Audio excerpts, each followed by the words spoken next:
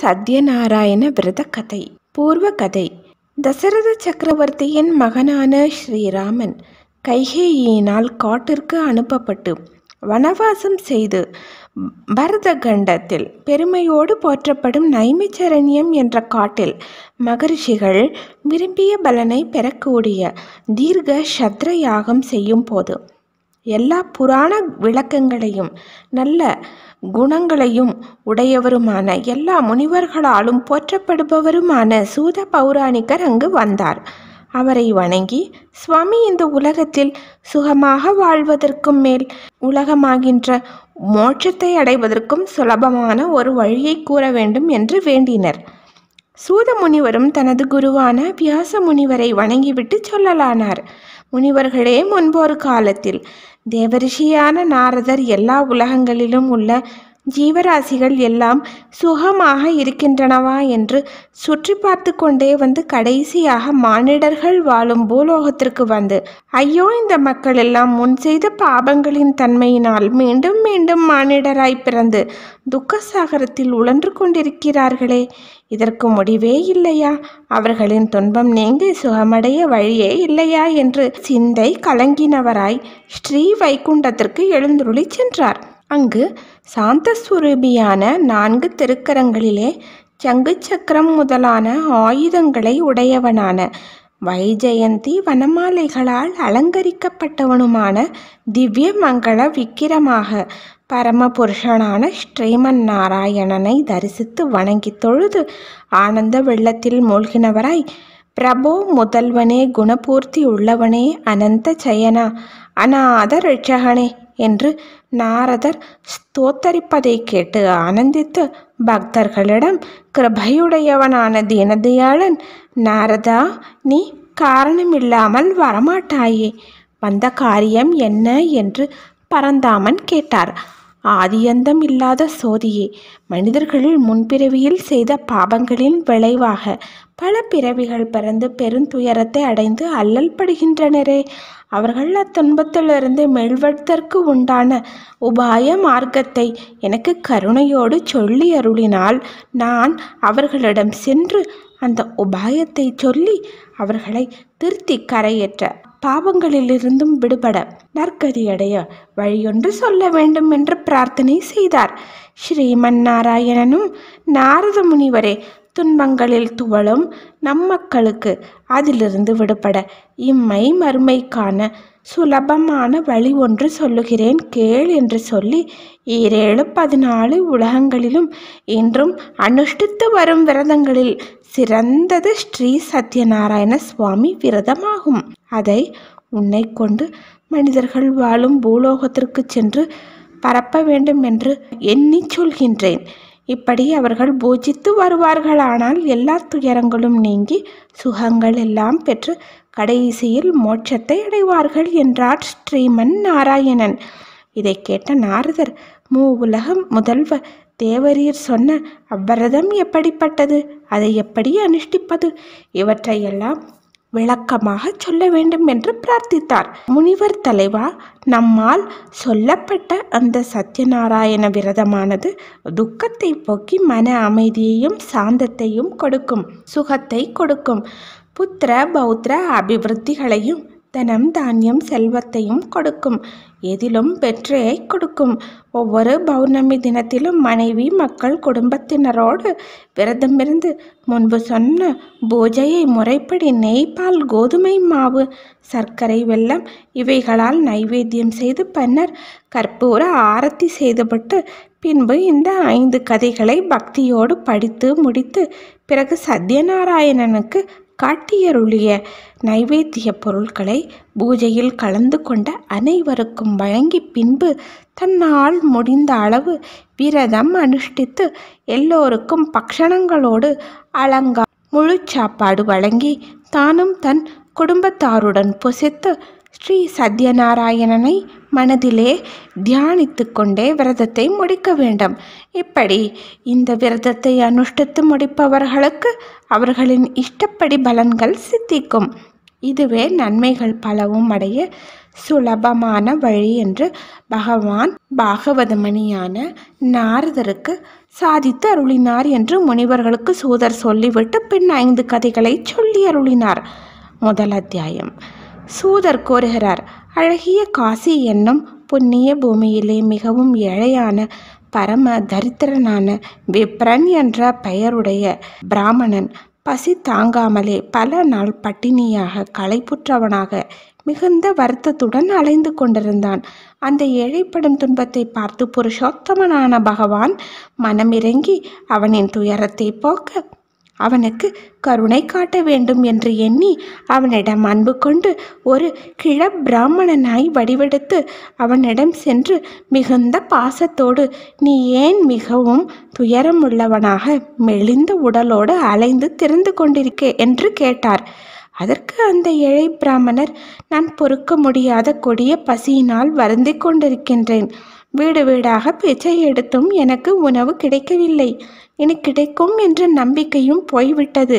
இனி என்னாலும் பொறுக்க முடியாது. என்னுடைய இந்த தரித்திரத்தை போக்கிக் கொள்ள ஏதேனும் வழி இருந்தால் கூறும்.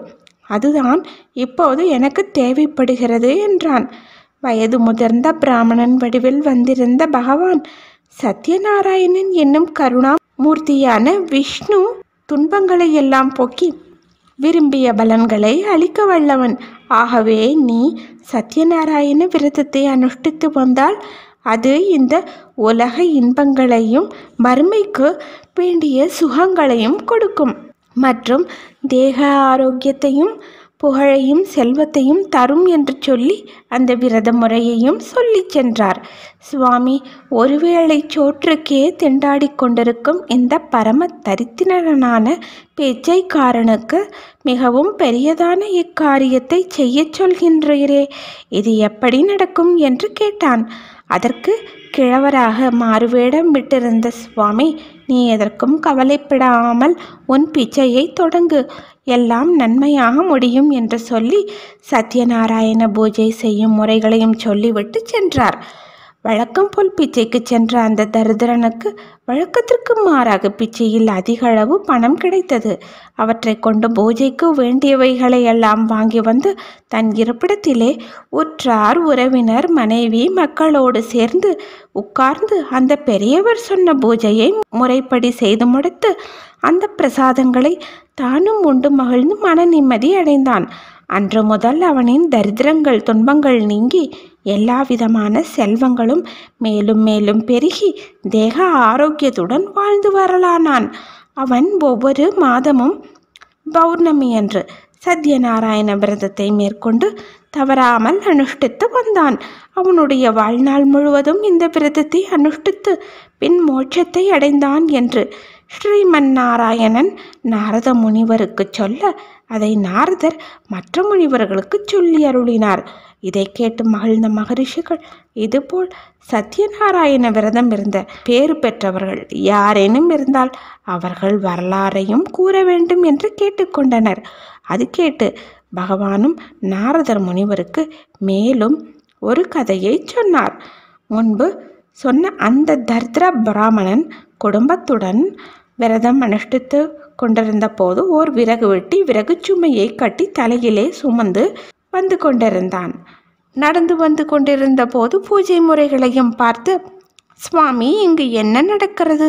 இந்த பூஜை செய்தால் பலன் என்ன உண்டாகும்? எனக்கு தாங்கள் சொல்ல வேண்டும் என்று கேட்க அதற்கு அந்த பழைய தரித்திரனும் இப்போதைய செல்வந்தனுமான பூஜையினால் தன் வாழ்வில் ஏற்பட்ட மாற்றத்தை பற்றியும் அதன் பலன்களையும் பற்றி விரிவாக எடுத்துச் சொன்னான். இரண்டாம் அத்தியாயம். அந்த விறகு வெட்டியும் இரவு முழுவதும் உறக்கம் இல்லாது அதே சிந்தனையோடே இருந்து மறுநாள் சத்யநாராயண பூஜை செய்ய வேண்டும் என்ற நினைவோடே விறகுகளை சேகரிக்கச் செல்ல என்றும் இல்லாத அளவு உயர்ந்த ரக விறகு அவனுக்கு கிடைக்க மிகுந்த மகிழ்ச்சியோடு அவற்றை எல்லாம் நல்ல விலைக்கு விற்று நிறைய பணத்துடனே பழம் புஷ்பம் வெற்றிலை பாக்கு கற்பூரம் சாம்பிராணி சந்தனம் கோதுமை மாவு நெய் சர்க்கரை தேங்காய் மாவிளை தோரணம் இவற்றை எல்லாம் வாங்கி கொண்டு வீட்டிற்கு வந்து வைத்துவிட்டு மனைவி மக்கள் எல்லோரும் நீராடிவிட்டு சுற்றத்தவர் நண்பர்களை வரவழைத்து வீட்டை மெழுகி மாவிலை தோரணம் கட்டி எல்லோருமாக உட்கார்ந்து புரோகிதர் சொல்லியபடி பூஜை தொடங்கி நடத்தி முடித்து தீபாராதனை முடிந்த பிறகு புரோகிதரை அனுப்பிவிட்டு நைவேத்திய பிரசாதங்களை மனைவி மக்கள் உற்றார் உறவினர் நண்பர்களோடு ஒன்று கூடி அமர்ந்து சாப்பிட்டு விரதத்தை முடித்தான். விறகு வெட்டி விறகு வியாபாரத்தின் போது கேட்டு வந்து நடத்திய சத்யநாராயண விரத பூஜையின் மகிமையால் எல்லா செல்வங்களும் பெற்று நிம்மதியான வாழ்க்கையை அனுபவித்து வந்து பிறகு வெட்டி முடிவிலே ஸ்ரீ விஷ்ணு லோகம் சென்றடைந்தான். மூன்றாம் அத்தியாயம். முன்னொரு காலத்தில் உத்கலமுகன் என்ற ஓர் அரசன் நீதி தவறாமல் சாதுவாக மக்கள் குறை தீர்ப்பவனாக தெய்வ பக்தி உள்ளவனாக ஆட்சி செய்து வந்தான். தினமும் கோவிலுக்கு சென்று விஷ்ணுவை வழிபட்டு தான தர்மங்கள் செய்து வந்தான். ஒவ்வொரு பௌர்ணமி என்றும் தன் மனைவியோடு நதிக்கரைக்கு சென்று இந்த சத்யநாராயண விரதத்தை செய்து வந்தான். ஒரு சமயம் சாது என்னும் ஒரு கோமிட்டி வியாபார நிமித்தமாக நிறைய பொருட்களை ஏற்றிக்கொண்டு ஓர் ஓடத்திலே அந்த நதிக்கரையிலே வந்து இறங்கி அரசன் செய்து கொண்டிருந்த பூஜையை பார்த்து கொண்டிருந்து விட்டு அரசனிடம் ஓ அரசனே நீ யாவும் அறிந்தவன். என் சந்தேகம் தீர பதில் சொல்ல வேண்டும் என்று சொல்லி உலகத்தில் எத்தனையோ விரதங்கள் இருக்கின்றன என்பதை பெரியவர்களிடம் கேட்டறிந்திருப்பாய். அந்த நோன்புகளிலே உத்தமமானது எது? அதை தெரிந்து கொள்ள விரும்புகிறேன். நீ அதை சொல்வாயாக? என்று கேட்டான்.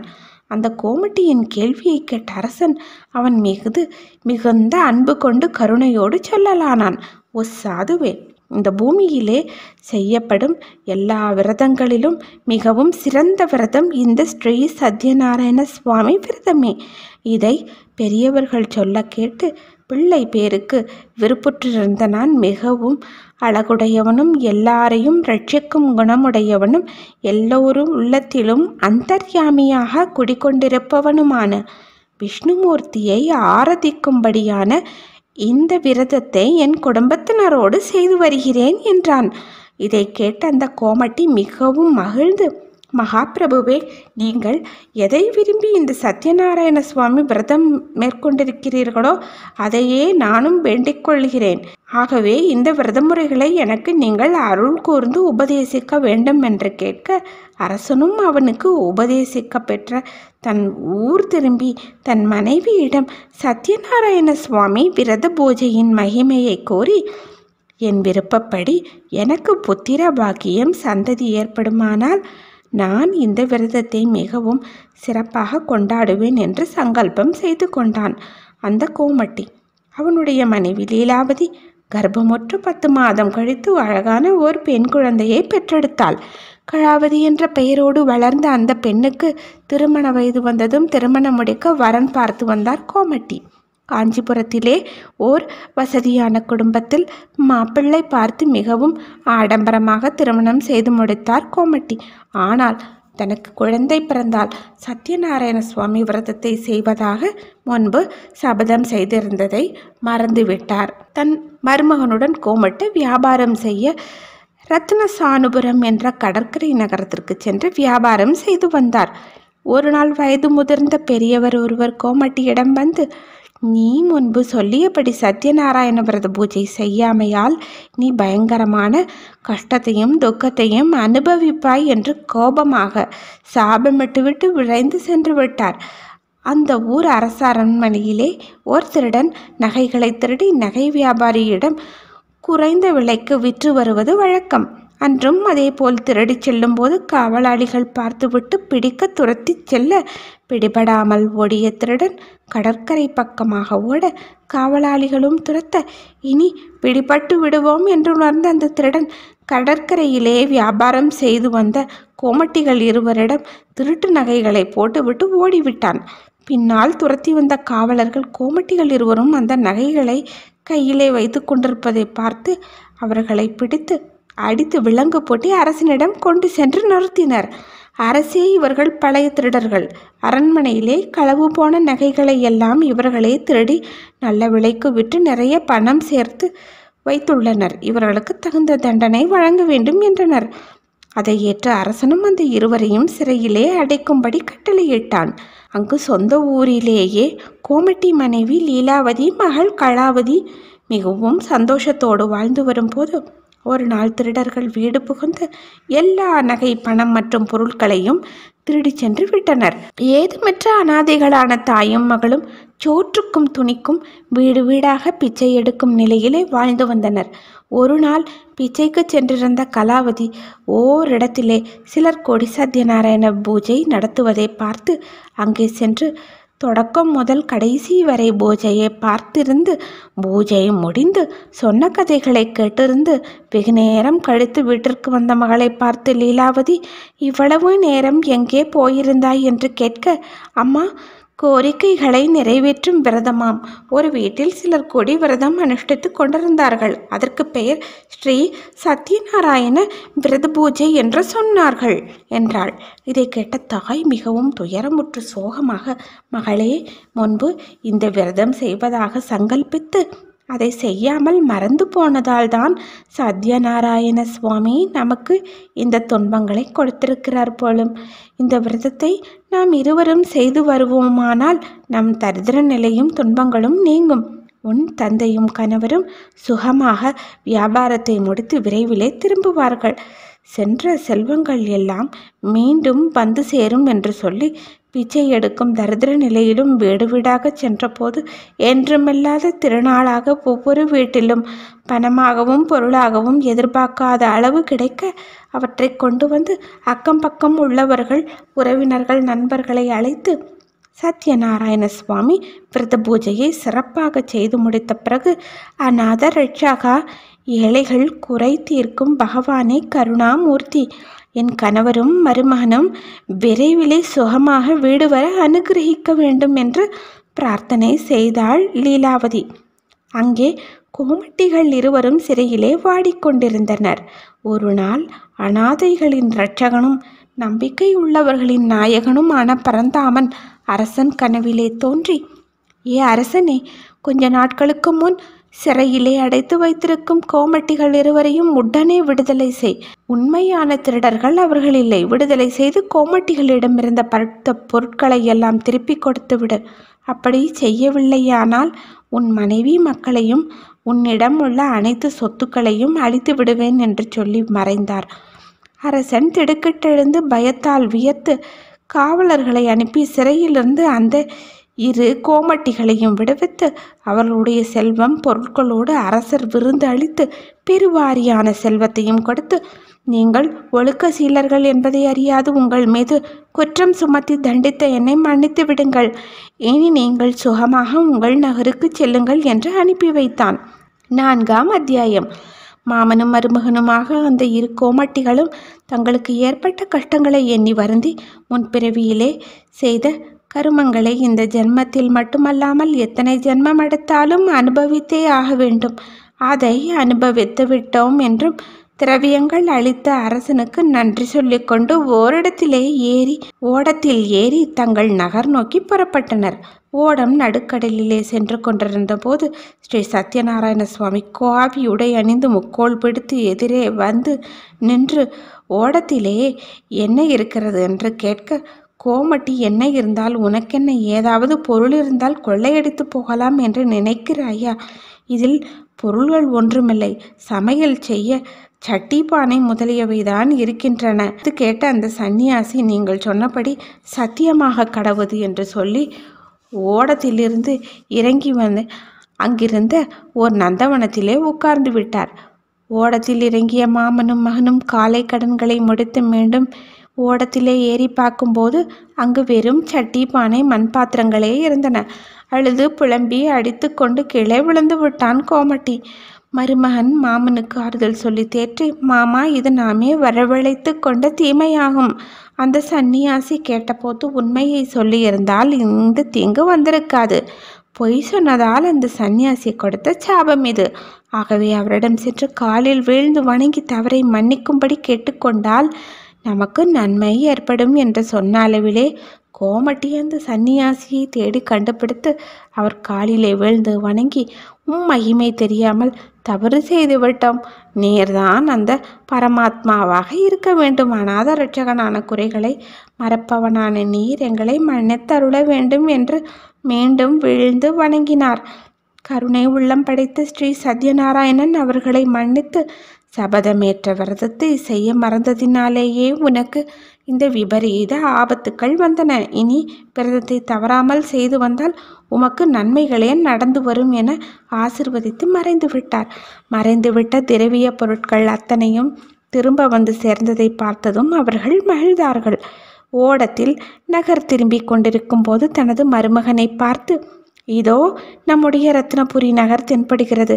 கரை சேர்ந்ததும் நம்முடைய பொருட்களை காப்பவனை முன்னதாக தூதனுப்பி என் மனைவிக்கும் உன் மனைவிக்கும் நாம் வருவதை தெரிவிக்கச் சொல்லுவோம் என்று ஆளனுப்ப அவனும் சென்று சொல்ல அவர்களும் மிகவும் சந்தோஷத்துடனே அவர்களை வரவேற்க நதிக்கரைக்கு செல்வோம் என்று கூறி அவர்கள் வீட்டில் செய்து முடித்த சத்யநாராயண விரதத்தின் நைவேத்திய பிரசாதங்களை உண்ணாமல் மகிழ்ச்சியாக கணவனை வரவேற்க சென்று விட்டனர் சத்யநாராயண சுவாமி பூஜை பிரசாதத்தை இவர்கள் அலட்சியப்படுத்தியதால் சுவாமி மிகுந்த கோபமுற்றார். கணவனை வரவேற்கச் சென்ற லீலாவதி பார்த்து கொண்டிருக்கும் போதே கணவனோடு ஓடம் நீரில் மூழ்குவதை பார்த்தாள். மகள் கலாவதி தன் கணவனை காணாது மிகுந்த துயரமுற்று புரண்டு அழுது ஆர்ப்பாட்டம் செய்தாள். அப்போது ஓடத்திலிருந்து வெளிவந்த தன் கணவரிடம் அவரின் மனைவி நாதா இப்போது நமது மருமகனும் ஓட ஓடமும் காணப்படவில்லை. இது தெய்வத்திற்கு நாம் செய்ய மறந்த குற்றம். ஸ்ரீ சத்யநாராயண சுவாமியின் விரதத்தை மறந்த குற்றத்தை நாம் செய்துள்ளோம் என்று மேலும் சொல்லிக் கொண்டிருக்கையிலேயே தன் கணவனின் செருப்புக்கள் இரண்டும் நீரில் வர அதை எடுத்து தன் தலை மீது வைத்து அழுது புழம்பிக் கொண்டே தானும் ஆற்றிலே விழுந்து மடியப் போவதாக ஆற்றிலே இறங்கினாள். இதை பார்த்த கோமட்டி தன் மனைவியை கூப்பிட்டு என்ன நடக்கிறதோ நடக்கட்டும். நான் மறந்துவிட்ட ஸ்ரீ சத்யநாராயண பூஜையை இப்போதே செய்வதென்றும் அதற்காக பிரார்த்தனை செய்து ஸ்ரீ சத்யநாராயண சுவாமியை மனசுத்தியோடு வேண்டிக் கொள்வதென்றும் சொல்லி ஸ்ரீ சத்யநாராயண சுவாமியின் திருநாமங்களை தோத்திரம் செய்ய தொடங்கினார்கள். கோமட்டியின் சிரத்தையான பக்தியிலே மகிழ்ந்த பக்தவத்சலன் தான் முன் முன்பு வந்த அதே சந்நியாசி வேடத்திலே கோமட்டி முன் வந்து ஓ மானிடனே உன் பக்தியைக் கண்டு மகிழ்ந்தோம். முன்பு உன் மகள் தன் கணவன் திரும்பி வந்துவிட்டான் என்று கேட்டவுடன் சத்யநாராயண விரத பூஜை பிரசாதத்தை உண்ணாமல் அவமதித்து சென்று விட்டதால் தான் இந்த கட்டத்தை அவள் உணர்வதற்காக நாம் தாம் கொடுத்தோம். அவளை வீட்டிற்கு அனுப்பி பூஜை பிரசாதத்தை உண்ணச் சொல். அவளின் கணவனை கூட்டிச் செல் என்று கூறி மறைந்தார். இதை மகள் லீலாவதியிடம் கூறி பூஜை பிரசாதத்தை உண்ணச் செய்தான் கோமட்டி. அப்படியே செய்து ஆற்றங்கரை வந்து லீலாவதி பார்த்தபோது தன் கணவர் அப்பாவுடன் சேர்ந்து நின்றிருந்ததை பார்த்து மகிழ்ச்சி அடைந்தாள். எல்லோரும் சேர்ந்து ஓடத்தில் கொண்டு வந்த பொருட்கள் பணம் எல்லாவற்றையும் எடுத்துக்கொண்டு வீட்டிற்கு சென்று ஸ்ரீ சத்யநாராயணனை வழிபட்டு பிரயாணத்தின் ஆரம்பம் முதல் அவனின் லீலா வினோதங்கள் எல்லாவற்றையும் கலந்து பேசி சந்தோஷமாக பொழுதுபோக்கி மகிழ்ந்திருந்து ஒவ்வொரு மாதமும் பௌர்ணமி அன்று ஸ்ரீ சத்யநாராயண விரத பூஜையை தொடர்ந்து செய்து மனநிறைவோடு எல்லா சுகங்களுடன் வாழ்ந்து முடிவிலே சத்தியலோகம் சென்றடைந்தனர். ஐந்தாம் அத்தியாயம். ஓ முனிவர்களை இன்னும் ஒரு கதையை சொல்கிறேன் கேளுங்கள் என்று சூத முனிவர் சொன்னார். துங்கத்வஜன் என்ற ஒரு அரசன் இருந்தான். அவன் குடிமக்களின் மகிழ்ச்சியிலே விருப்பம் மிக்கவனாக இருந்தான். சத்யநாராயண விரத பூஜை பிரசாதங்களை வாங்கி சாப்பிடாமல் வெறுத்து வந்தான். அதனால் அவன் பெற்ற துன்பங்கள் அளவில் அடங்கா. அவன் ஒரு சமயம் மிருகங்களை வேட்டையாட காற்றுக்கு சென்று அநேக மிருகங்களை வேட்டையாடி கொன்று மிகவும் களைத்தவனாக ஒரு ஆலமரத்தின் நிழலில் தங்கி இளைப்பாறிக் கொண்டிருந்தான். அவன் தங்கியிருந்த இடத்திற்கு அருகே சில இடையர்கள் தங்கள் குடும்பத்தினருடன் கூடி ஸ்ரீ சத்யநாராயண சுவாமி பிரத பூஜையை செய்து கொண்டிருந்தனர். இவனோ அரசன் அவர்கள் இடையர்கள். பார்ப்பது கௌரவத்துக்கு குறைச்சல் என்று அங்கு போகாமலும் சுவாமியை வணங்காமலும் இருந்தான். ஆனாலும் குடிமக்களான அவ்விடையர்கள் பூஜை முடித்து பிரசாதங்களை அரசன் முன் கொண்டு வந்து வைத்துவிட்டு பூஜையில் கலந்து கொண்டு விரதமிருந்த அனைவரும் பிரசாதங்களை சாப்பிட்டு அவரவர் அவரவரிடத்திற்கு சென்றனர்.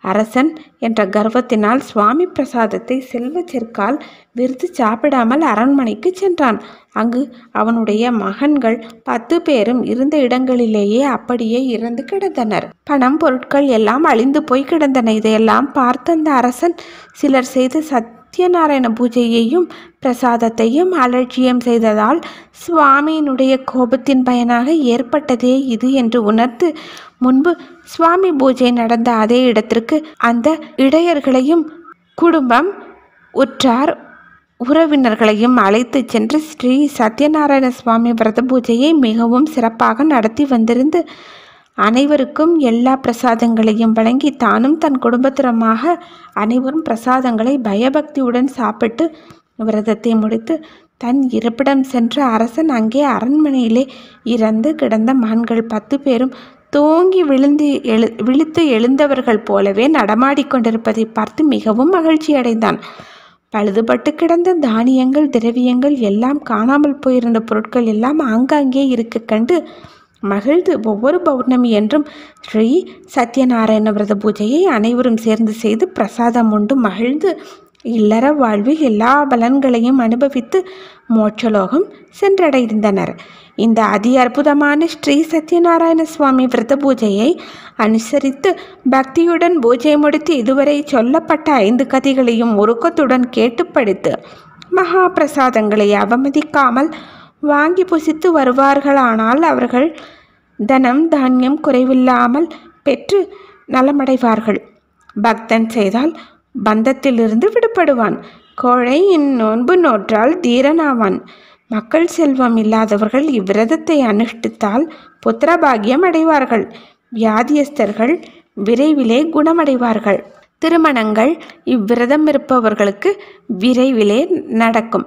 மேலும் யார் யார் எந்தெந்த கோரிக்கைகளை முன்வைத்து இந்த பூஜையை செய்கின்றார்களோ அவரவர் வேண்டுதல்கள் நிச்சயம் கைகூடும். ஏழ்மை விலகும் பயம் நீங்கும். ஞாபக சக்தியும் கல்வியும் வளரும் என்பது சத்தியம் என்று சூத முனிவர் மற்ற முனிவர்களுக்கு கூறினார். இதில் ஸ்ரீ சத்யநாராயண பூஜை செய்த சிலர் பெற்ற மறுபிறப்பும் சொல்லப்பட்டுள்ளது. சதானந்தன் என்னும் பிராமணன் குச்சேலராக பிறந்து ஸ்ரீ கிருஷ்ணனுடைய அருளை பெற்றார். விறகு விற்றவன் ஸ்ரீ குகப்பெருமாளாக பிறந்து ஸ்ரீராமனுக்கு தோழனானான். உல்காமுகன் தசரதனாக பிறந்து ஸ்ரீ ரங்கநாதரது திவ்ய கடாட்சம் பெற்று முக்தியடைந்தான். வணிகன் மோரத்வஜனாக பிறந்து தன் உடலிலும் பற்றில்லதா பற்றில்லாதவனாய் பிராமணனுக்கு தன் சதையை அறுத்து தந்து மோட்சலோகம் சென்றான். துங்குவத்வஜன் நான்முகன் ஆனான். ஸ்ரீ சத்யநாராயண பூஜாவிதி கதை முற்று பெற்றது ஸ்ரீ சத்யநாராயண சுவாமினே நமக. ஸ்ரீ சத்யநாராயண சுவாமினே நமக. ஸ்ரீ சத்யநாராயண சுவாமினே நமக. ஸ்ரீ சத்யநாராயண சுவாமினே நமக.